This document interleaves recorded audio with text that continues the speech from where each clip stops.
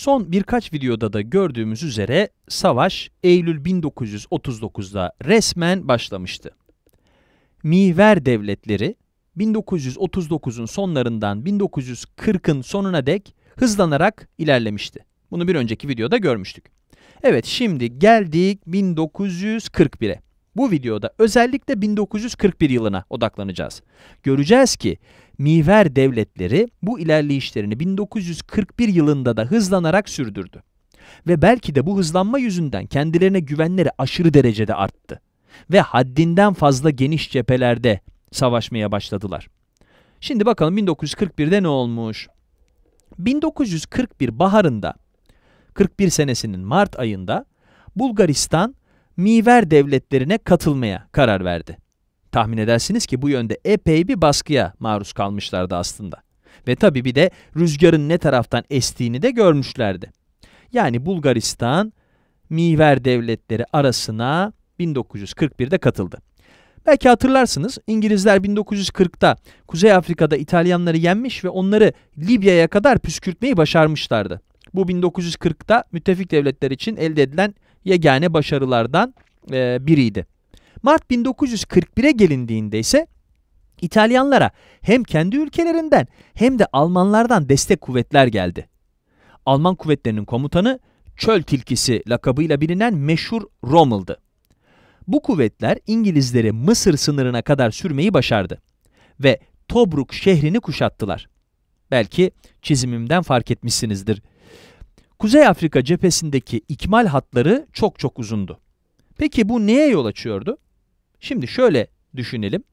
Taraflardan biri ilerleyince, diyelim ki mesela müttefikler Libya'nın içlerine kadar ilerledi değil mi? Müttefiklerin ikmal hatları çok uzuyordu bu sefer. Ama karşı tarafın ikmal hattı kısalıyordu. Öyle olunca da karşı taraf kuvvetlerini daha kolay ve daha kısa sürede ikmal edebiliyordu. Veya diyelim Miver devletleri müttefikleri Mısır'a kadar geri püskürttü. Bu sefer de onların ikmal hatları çok uzuyordu. Dolayısıyla bu sefer müttefiklerin kendi kuvvetlerini ikmal etmesi kolaylaşıyordu. O yüzden de Kuzey Afrika cephesi denince akla genelde bu bir ileri bir geri, bir ileri bir geri hareket gelir. 1941'in ilk aylarında ilerleyişte olan Miver devletleriydi. İngilizleri Mısır'a kadar sürmeyi başarmışlar ve Tobruk şehrini kuşatmışlardı. Şuraya yazıyorum. Kuzey Afrika. Kuzey Afrika'da Rommel İngilizleri püskürtüyor. Gelelim Balkanlara. Balkanlarda ne oluyordu? Hala 1940'ın baharındayız. Nisan ayına geldik. Önce biraz işin evveliyatından bahsedelim. Gerçi birkaç video önce bunları anlatmıştım ama olsun burada kısaca bir tekrar edelim. Ta 1939 baharında yani 2. Dünya Savaşı henüz resmen başlamamışken İtalya Arnavutluğu işgal etmişti. Yani burası zaten boyalıydı. Arnavutluk 1939'da işgal edilmişti. 1940'ın sonlarındaysa İtalya Yunanistan'ı işgal girişiminde Arnavutluğu bir üs olarak kullanmıştı. İtalya Yunanistan'ı işgal etmeye çalışmış ama başarılı olamamıştı. İngilizlerin Kuzey Afrika'da mağlup olmasına yol açan şey de İtalyanların bu başarısız işgal girişimiydi aslında. İngiliz kuvvetlerinin önemli bir kısmı İtalyanları yendikten sonra Yunanlara yardım için Yunanistan'a gönderilmişti. 1940'ın sonlarından bahsediyoruz. Yani 1939'da İtalya Arnavutluğu işgal ediyor. Ekim 1940'ta da Yunanistan işgal ediliyor. Yazalım buraya. Ekim 1940. Evet. Şuralara bir yere denk geliyor. İtalya Yunanistan'ı işgal etti. Ama sonra geri püskürtüldüler. Fakat müttefikler Yunanlara yardım etmek için Libya'da İtalyanlara karşı başarılı olan Kuzey Afrika kuvvetlerinin önemli bir bölümünü Yunanistan'a kaydırmak zorunda kalıyor. İşte işin arka planı böyle. Bir daha tekrar edelim. Arnavutluk 1939 Nisan'ında yani daha savaş başlamamışken İtalyanlar tarafından işgal ediliyor. 1940 Ekim'inde ise İtalya bu sefer Yunanistan'ı şöyle bir zorluyor fakat başarılı olamıyor. Yunanlar Kuzey Afrika'daki müttefik kuvvetlerinden destek alıyorlar. Şimdi 1941'e dönelim. 1941'de Almanya artık Kuzey Balkan ülkelerine ve Yunanistan'a saldırmaya başlamıştı. İşin içine Almanlar da girince Miver devletleri Yugoslavya ve Yunanistan'ı ele geçirmeyi başardı. Ve Girit adasını hava bombardımanıyla dövmeye koyuldular. Yani daha 1941'in ilk yarısı bitmeden Avrupa'nın devasa bir kısmı Miver devletlerinin kontrolüne geçti. Yazalım buraya. Yugoslavya ve Yunanistan. Ayrıca Girit'in havadan bombalanması da var. Artık yaza geldik. 1941 yaz ayları. Şimdi bu noktada olacaklar savaşın seyrini değiştirecek. Savaşın aşağı yukarı buralarındayız zaman çizelgesi olarak baktığımızda. Cihan Harbi'nin başlarının üzerinden yani henüz 2 sene geçmiş geçmemiş.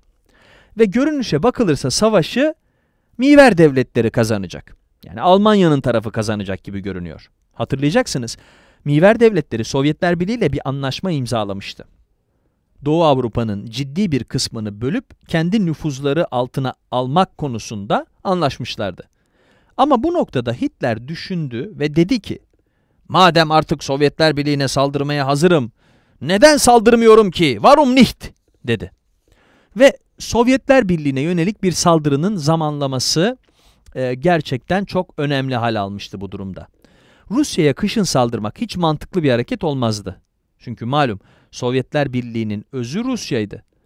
Napolyon dahil nice askeri lider acı tecrübelerle öğrenmişti ki Rusya'ya kışın saldırmamak gerekiyordu. Dolayısıyla 1941'in yazına gelindiğinde Hitler bunun Miver devletleri için bir fırsat olduğunu düşündü ve Haziran'da Sovyetler Birliği'ne saldırmaya karar verdi. Yazalım. Sovyetler Birliği'ne saldırı Haziran'da. Bu inanılmaz derecede cüretkar bir hamle oldu. Çünkü Almanya hem Batı Avrupa'da İngiltere ile savaşıyordu ki İngiltere aslında hiç kolay lokma değildi.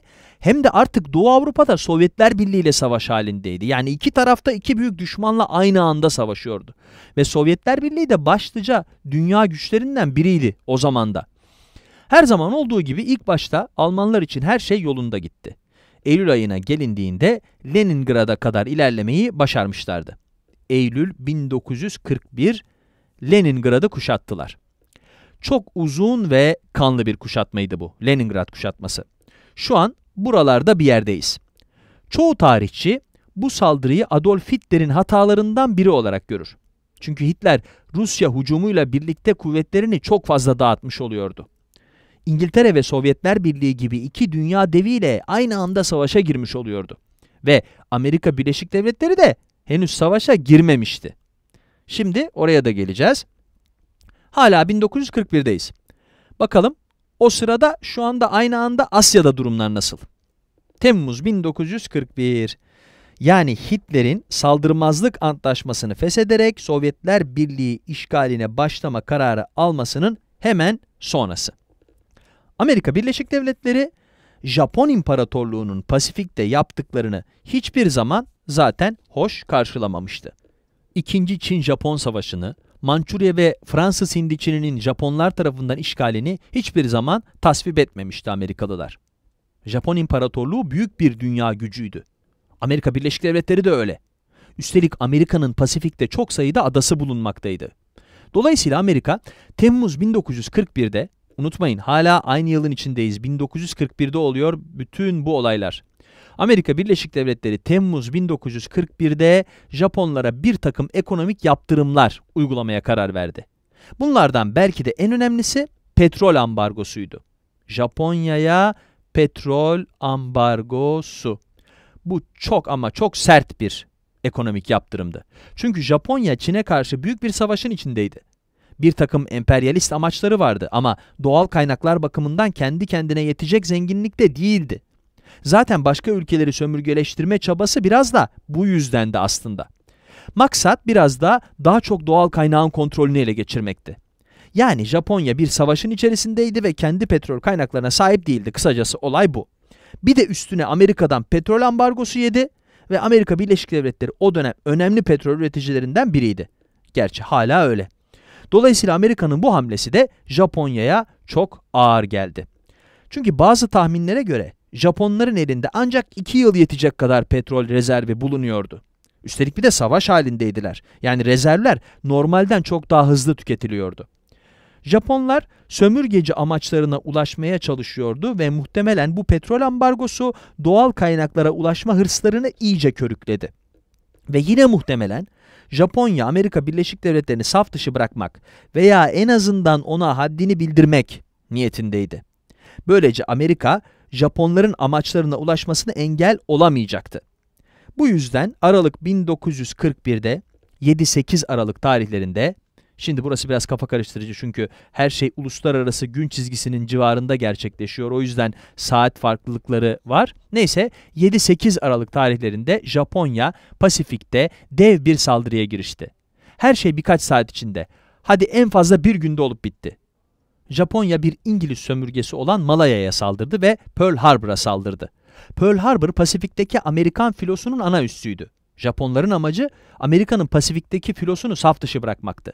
Böylece Amerika Birleşik Devletleri Japonların faaliyetlerine engel olmakta zorlanacaktı. Amerikalılar Pearl Harbor'ı dillerinden düşürmez. Hatta Pearl Harbor isimli bir Hollywood filmi de vardır. Belki izlemişsinizdir. Halbuki Pearl Harbor saldırısı birkaç saatte olup biten birçok Japon saldırısından sadece biriydi. Malaya var, Pearl Harbor var, Singapur var, bir Amerikan üssü olan Guam var. Yani bir dolu saldırı var. Wake Island, Amerika-İspanya Savaşı'ndan beri Amerika Birleşik Devletleri'ne ait olan Filipinler, İngilizlere ait Hong Kong, Japonlar bunların hepsine saldırmıştı. Bu saldırılardan kısa süre sonra Aralık ayının ilerleyen günlerinde Japonlar asıl ganimete ulaştı. Bugünkü adı Endonezya ama o zamanlar buraların adı Hollanda Doğu Hint adalarıydı. Unutmamak lazım ki Hollanda o dönem Almanlar karşısında mağlup olmuştu. Japonlar da baktı dedi ki Vay burada bol bol doğal kaynak var. Bilhassa petrol gani gani. Biz bir girelim buraya dediler. Bunu Japonca diyorlar tabi. 1941'in sonlarına doğru Hollanda Doğu Hint adalarına ve Burma'ya girdiler. Görüldüğü üzere Japonların çok saldırgan, çok cüretkar bir tutumları vardı. Ama sonuçta emperyalist amaçları var adamların. Doğal kaynakları kısıtlı, yeni kaynaklara ulaşmak gerekiyor. Bu da tehlikeli bir yol. O yüzden de gözlerini iyice karartmışlardı. Fakat bunun önemli sonuçları oldu. Mesela Amerika bu durumdan hiç hoşnut kalmamıştı. Zaten kendilerini müttefiklere daha yakın hissediyorlardı. Ne Avrupa'da ne de Çin'de onları tasvip ediyorlardı. Sonuçta Amerika Birleşik Devletleri 2. Dünya Savaşı'nda müttefikler tarafında katılmaya karar verdi. Haliyle miver devletleri Amerika Birleşik Devletleri'ne savaş ilan ettiler. İşte bu çok kritik, önemli bir gelişmeydi.